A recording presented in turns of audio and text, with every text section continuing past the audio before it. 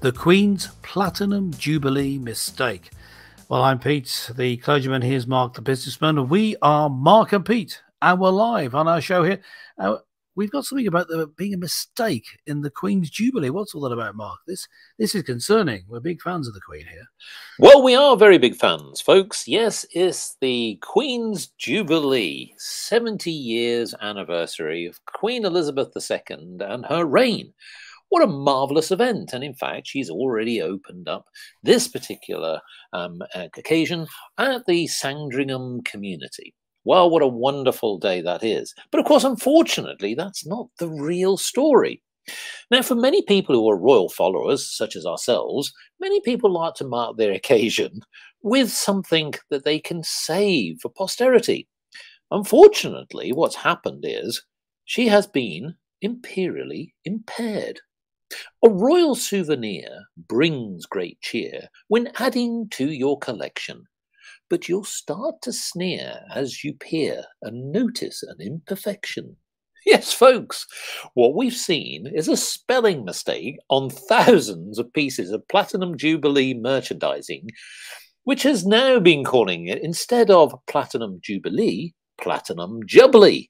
Yes, folks who are perhaps really fans of Only Fools and Horses, this is the classic Del Boy style pitching. would probably say, was this deliberate or was it a mistake? Clergyman Pete, I ask you, have you been grabbing your pieces of memorabilia?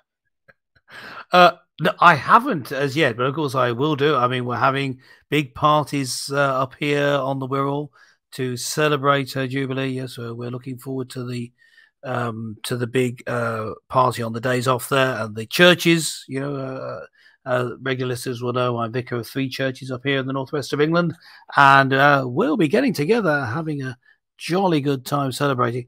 Um, I don't know whether we'll have bubbly or jubbly. I'm not sure about that, but uh, certainly it'd be good to have some memorabilia.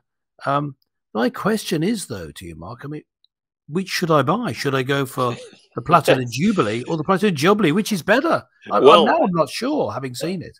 Many people have said uh, you should probably actually buy the one with the mistake because usually yes. this is a limited edition. Now, what's actually happened, folks, is 10,000 pieces of Jubilee memorabilia has been produced in, in China and sent to be sold in the United Kingdom. Unfortunately, as we stated, it has the term the Platinum Jubbly of Queen Elizabeth II. Now, what is interesting, though, is, is that many people say that this souvenir stock with a slight typo mistake, I say slight, my goodness, it is amusing. And when I first saw it, I thought, well, that surely is a deliberate pun um, playing on the idea of Del Boy, um, which, of course, yeah, is a character from an English um, sitcom, Only Fools and Horses. but apparently, it's lovely jubbly, yes, lovely jubbly, meaning that it's a great thing to happen. Yeah, there you go. But um, some people say no, this is a, a bit of a blight on the Queen Elizabeth herself. I don't know what she thinks about it. I hope that she sees the funny side. But if you were actually buying something, I would suggest that maybe you should get hold of a set because it will be a rarity over time. Okay, now I've got a suggestion. You see, uh, mm. why don't we we uh, with our listeners club together and get a former company to produce these items of memorabilia for the Queen uh, with deliberate mistakes? Yes, we could, for example, have that exact hmm. Uh, that exact design, but have a picture of Freddie Mercury in the middle. Well, that would be a great. He's the lead singer of Queen. yes, of course, exactly. Yes. I like that idea, and I don't think anyone would notice. um, but yes, that's one suggestion. Um, yes. Maybe even you? better, and here's yes. another idea uh, to Your Majesty. Maybe if Her Majesty herself could actually do a performance from Queen's greatest hits uh, at some hmm. ceremony, and then that would I, be even better. I think what would totally make my day, this will be the perfect thing to happen, if we have the event the Queen does a little speech saying, "My husband and I." Uh, well, sorry, her husband has died. It? That bad taste. Sorry, everyone.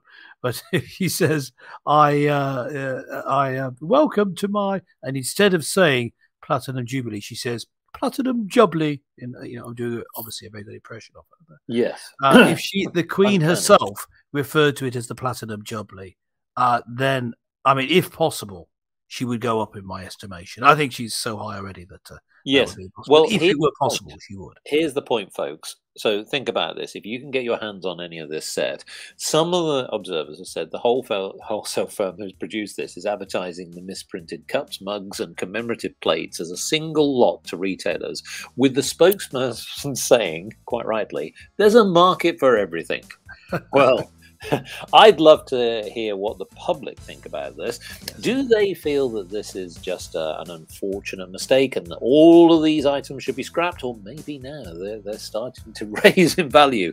But I don't really want to know is what else does the public think that we should have as great puns on the Jubilee? Let us know in the comments below. Lovely jubbly.